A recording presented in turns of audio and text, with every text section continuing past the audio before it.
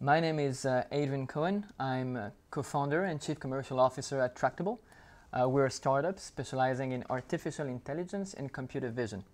Thanks to recent breakthrough in uh, deep learning, computers have just surpassed uh, human accuracy in certain visual recognition tasks. And so our mission at Tractable is to bring this technology from the lab to the real world. Today our first focus is auto insurance, believe it or not.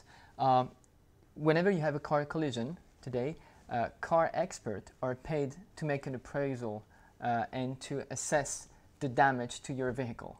So we are training algorithm to do just that, to be able to perform an assessment of the damage severity on your car after you've been into a collision. So at the European Tech Summit, um, I'll be discussing enterprise and automation. I'll be giving you know concrete examples of how AI is you know, helping businesses today to reach higher performance in a number of industries, insurance, industrial inspection, medical imagery, and so on and so forth.